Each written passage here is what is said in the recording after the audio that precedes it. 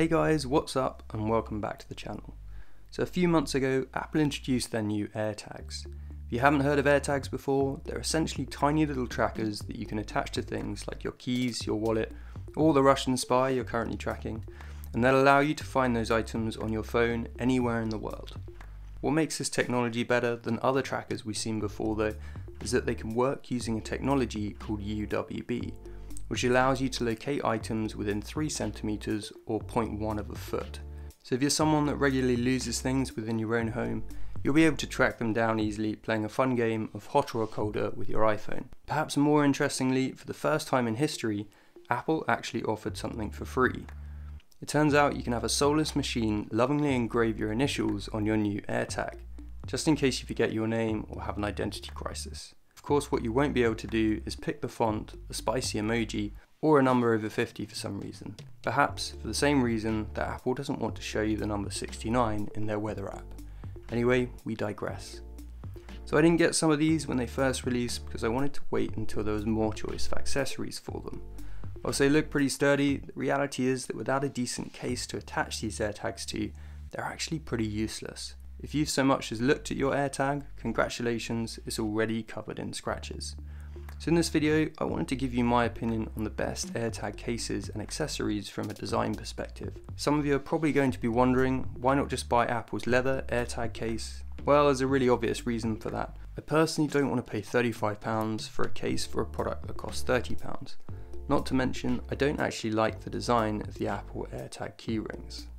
Now you can also go for a super cheap case option, but the reality is most of these plastic creations over time will show all the solidity of a well dunked biscuit.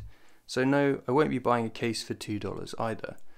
So with that in mind, all of these accessories that I'm about to recommend are cheaper than the Apple cases, while still exhibiting really strong design credentials.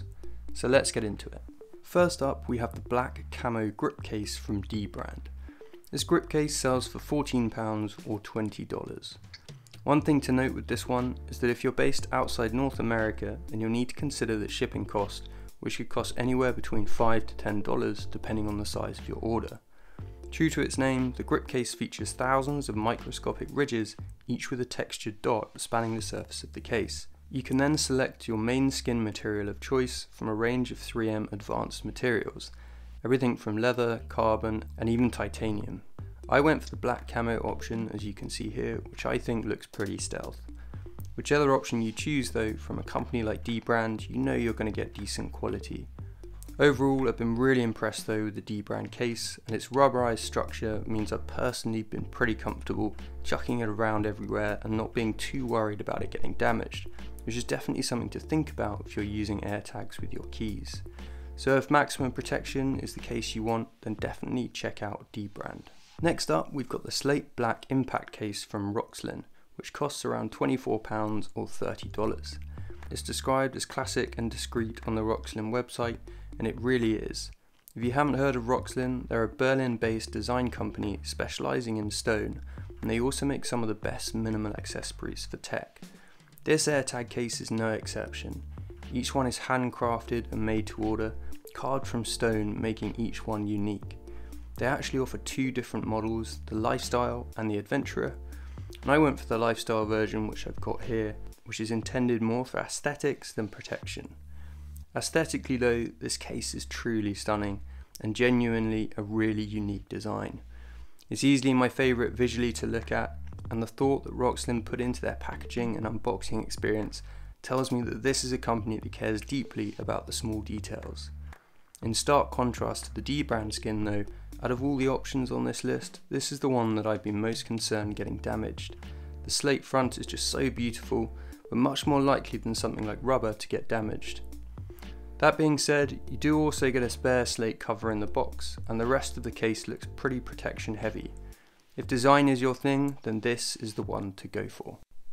The next case is from Casetify. And if customization is your bag, then this holder for £24 or $30 is probably the one for you. Made from recycled and composite materials, this case also has a big focus on the environment. I've got the licorice version here and I've also customized it with black Thoughts on Things logo on the front, which I think looks really clean and minimal. One of the nice things about the Casetify option is that it comes with a carabiner, which is actually really high quality and makes it easier to attach things versus a standard keyring. I've noticed though that sometimes the carabiner can be a bit of a challenge to attach to certain things with a tighter hole. For example, it doesn't attach to my car keys as you can see here, but that could be easily fixed by a secondary ring. Anyway, the case itself seems very durable apart from one side being exposed. For that reason, I think this case is probably going to work better as something you attach to your backpack rather than one you attach to your keyring. A slightly different option next from Crazy Horse Craft, sold by Mukama, is this carbon black leather case again for around £25 or $30.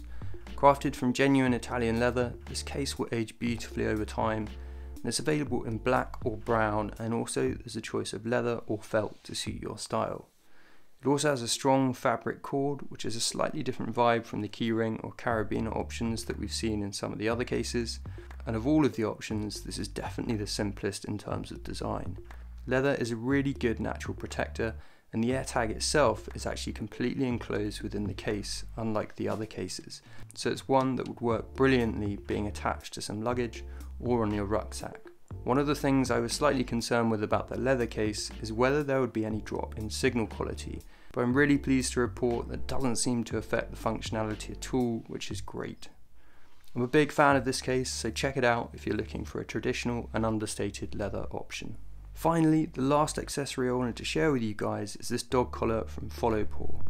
Another sustainable option here being made from 100% vegan premium cork leather but this time for your four-pawed friend. Not only is this collar fully waterproof, but it's also bite-proof as well, so just in case your little canine friend wants to sharpen its teeth on it, you'll be safe knowing it's protected. It comes in two colour options, natural or black, as well as multiple size options to cover even the chubbiest of necks. One feature I really like about this dog collar is the magnetic clasp. You get the feeling that so much thought has been put into the design of this collar and the AirTag has its own specialised anti-slip pocket to slot into so it won't fall out when your dog runs, jumps or spins. I haven't seen any other dog collars I've liked yet that are specifically designed for AirTags, so this is the one I'd recommend if you're looking into it. So guys, those are just some of my top picks for AirTag accessories with quality design. I really hope it was useful and I hope you end up spending an extortionate amount of money on making your new AirTags look class.